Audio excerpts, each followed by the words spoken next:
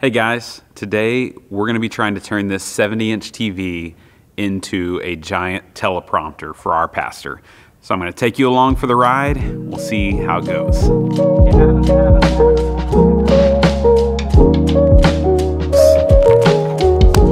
All right, so anybody can just put a TV on a wall and send ProPresenter to it and call that a teleprompter, but this is next level, okay? We've seen a couple churches do this where you are actually putting uh, teleprompter glass or a some type of screen, privacy screen material onto the TV to make a giant uh, monitor that can only be seen from the front. Now, I will link in the description the company that we got this from. It was actually a very long process to try and figure out the exact sizing and what materials to use.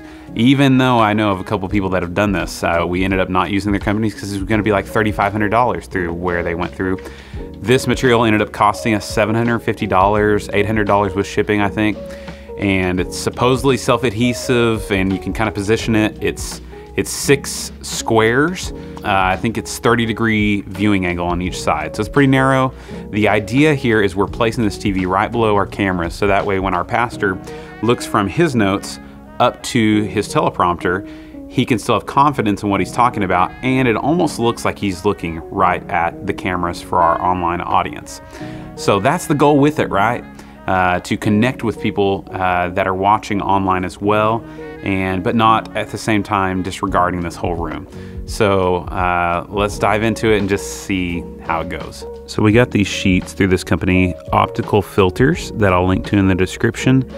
They have an office in England and in the States, I believe, and uh, they're the ones who sent us this product right here. And they sent us this diagram with all the measurements and everything, but we're about to open it up, see what exactly these sheets do. Each piece has a little pullback film that we're gonna pull off and then I guess you have a few seconds before you can, uh, once you attach it, to move it around. So we're gonna try and do this.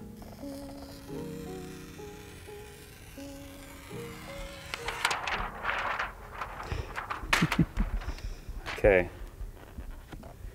This doesn't feel sticky, so I'm a little concerned. Does it have? Oh, it's got something on this side too. Crap. Is that side sticky?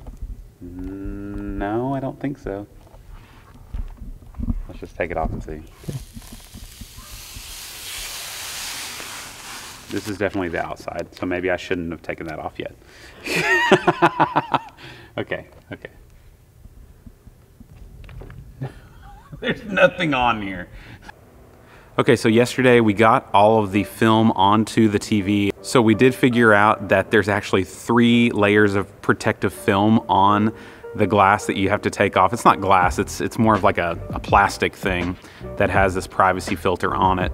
Once we figured that out, it's just like a cell phone protector, like how it kind of like sucks to the, the, the screen, the TV, and you just kind of have to work out the air pockets that might develop in there. Uh, it may be easier if you turn the TV on, if you get one of these and do it. I don't know what I was thinking, I had it off, and so it's kind of hard to make sure it's lined up, but uh, was able to get it going. It's working good. This actually seems like a much better solution than the other two that I've seen.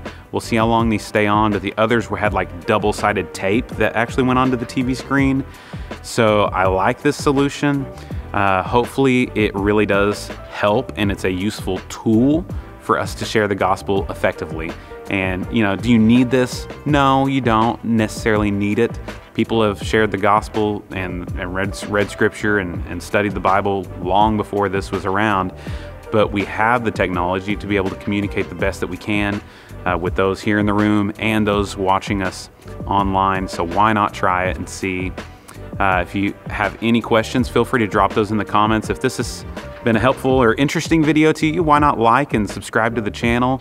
I'm always just documenting the things that we're doing here at our church as we try to do great things for God's glory. That's what it's all about. So if you have any questions, drop them in the comments. I'll link to all of these things, where we got them, in the description below. And we'll see you in the next one.